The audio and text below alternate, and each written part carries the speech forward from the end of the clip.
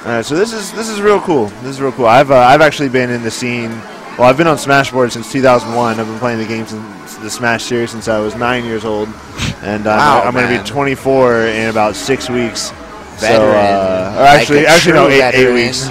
So I just I, sometimes I just take a big step back and I'm just like, wow, I can't believe I'm here doing this now. The the, the 13 year old in me is uh, really just happy and high fiving future me. So uh, it's pretty cool. All right. Um, now, what's not pretty cool is uh, chain grabs, and we're about to see a lot of those. Yep. Um, but what would go. be pretty cool is to see uh, Keto, I guess. That's the guy's tag. So uh, FOW going DDD. I've actually never seen FOW's DDD Never before. have.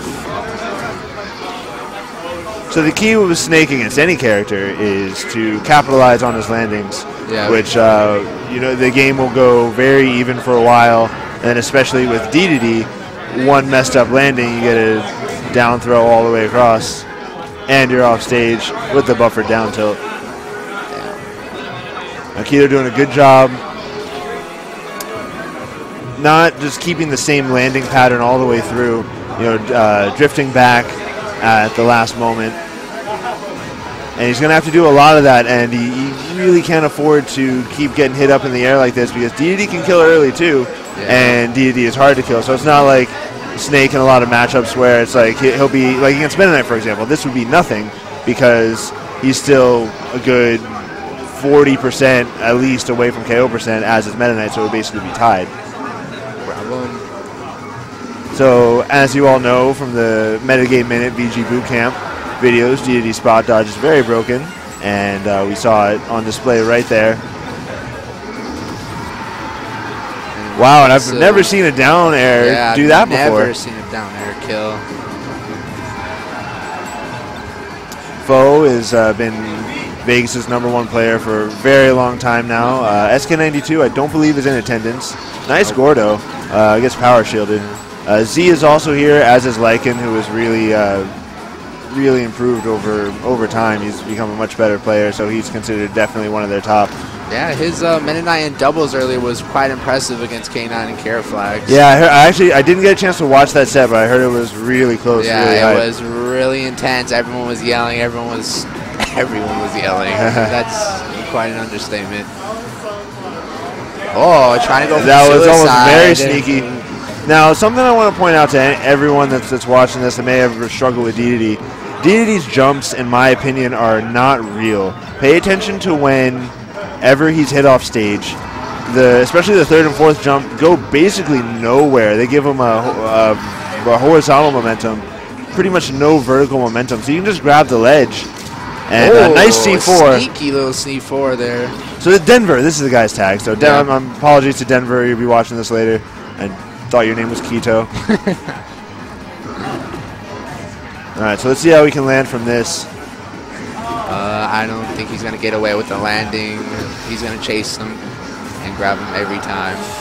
Okay, so he survives the back air despite the uh, despite the questionable DI. Whoa, Not that surviving that. spike? Surprise uh, Gordo though. Yeah. The birthday Gordo.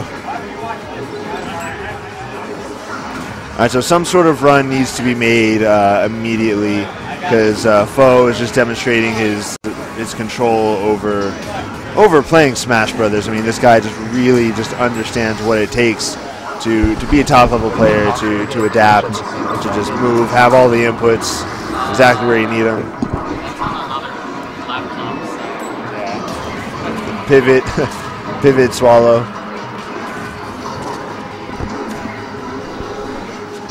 Yeah, Wow. we, are, we are not able to get another uh, an image of the singles bracket. Sorry about that, Razor. How many entrants were there today in singles? In singles, I Quite- uh, quite a few people. To 55. around 55. there. Very. That's Yeah. that's really nice. We, there was uh, 26 last year in Arizona, Yeah. and uh, which is which you know appreciate the 26 people coming out, but uh, 55 major upgrade. I believe it is Arizona's largest tournament it has for Brawl out here in Salvation. Very cool. Thank Not- you for everyone that's coming out. No, it should have been an up tilt right there on that up B, but it didn't happen, and uh, I'm not sure. Until oh Wow. okay. So pretty much, I feel like the only hope for Keto, if he can even survive this invincibility, which he does, And it does I get grabbed, uh, It's though. gonna be ended. Wow. All right, so no JV. Uh, FOW takes game one very solidly with the DDD.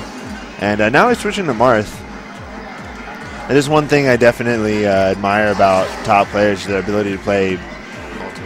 Like so many different characters. I, for me, I can only play, uh, I can only play Olimar. I can play Meta Knight kinda. I can play Luigi kinda kinda.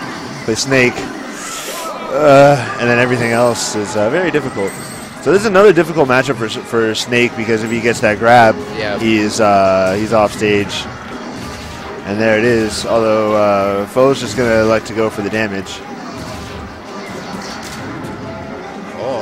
Oh, tried to get that nice little C4 to back air.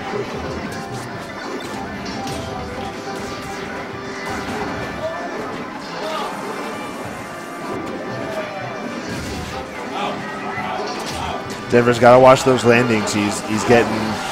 Uh, he survives that, Oh, and FOW the Pokemon Foe. Stadium ledges. So uh, very fortunate thing there. He's going to have to capitalize definitely very strong because FOW likely isn't going to give him any more gifts. All right, so even game, but uh, Snake, you never know with that crazy damage output.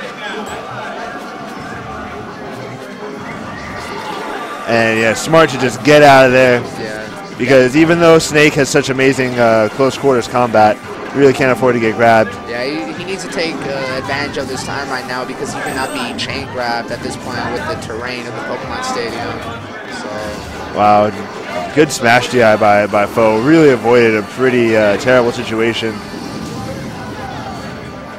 And uh, dies after all that. So um, about Freddy and FOW not giving him any more gifts uh, just keeps happening. So uh, Denver's you can capitalize on this. We may see uh, this go to game three. However, remember FOW does have a very uh, expert level Ness, very expert level Meta Knight. So even if he does end up dropping this game, uh, you know those characters will likely make their way out.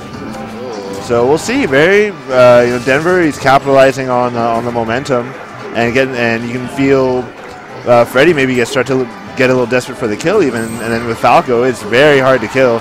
Gets the back air, barely survives. Nice. Let's see if he can get this landing. nice. Reads the air dodge, but it's not enough. Good up air. Now what? if I were Denver, I would stay on a platform, just get hit to 40 if need be, and then go in and fight because you cannot afford what exactly what had happened just there. Unfortunate grenade. Uh, oh, oh. All right, and wow. Project Melee sign up starting. The tournament starts at 9. Ooh, Project Melee. I might enter that. The Melee room. I've never played myself. I don't, I'm not a fan of melee mechanics. No offense to any melee players. Just it's But both- not it's not my game. Both, both games are, are very wonderful in their Yep, own right, yep, and yep. just because one person's happy doesn't mean another person has to be sad, and Exactly. we all exist in harmony. Yay!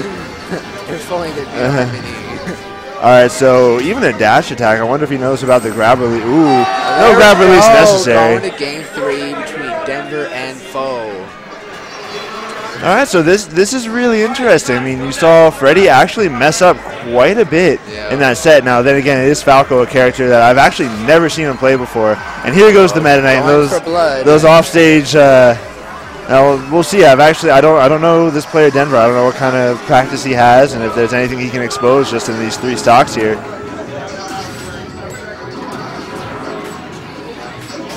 It's a very very classic matchup here. One of the early days of Brawl, and even really to this day, this is a matchup we see uh, quite a bit. And uh, FOW wasting no time. Just aggressive as ever. No, really, I, I think FOW is one of the most aggressive Meta Knights I've seen. He's always in your face. Yeah, without a doubt, uh, FOW just really has no regard and just goes in very, very hard. And uh, you know that's normally I would advise against that for anyone trying to learn the character or people learning the game. You know, just take your breaks and just learn to back out. Uh, FOW is one of those rare exceptions. He he sees those holes and he knows how to just get momentum back very quickly. So it can be it can be pretty scary fighting him, especially even when you you, know, you get in on him and you think you kind of got something going, and he just hits you out of it and continues to string. Whoa. And uh, this is looking uh, pretty pretty brutal. Uh, Denver Denver being good showing games one and two, but here with the Meta Knight, he's looking uh, a little outmatched right now. So good use of the grenade to help with the landing there. the grenade shield pokes, and you can just you can just tell. Wow, grabs in the back air. You can, you can tell, tell just a little little outmatched. This is good good experience. No remorse, no mercy. Wow. Sure, Denver is a very nice, respectable member of the community, but this is a combo video right now. Yeah, Wow. So uh, quite the demonstration by by FOW. Uh, good shit to shoot to Denver for taking it to game three. But uh, FOW is too strong. I believe FOW's on my side of the bracket, so that's what I get to put up with. You all get to chill on your stream and just watch. I have I have a lot of stress I'm about to go through, so.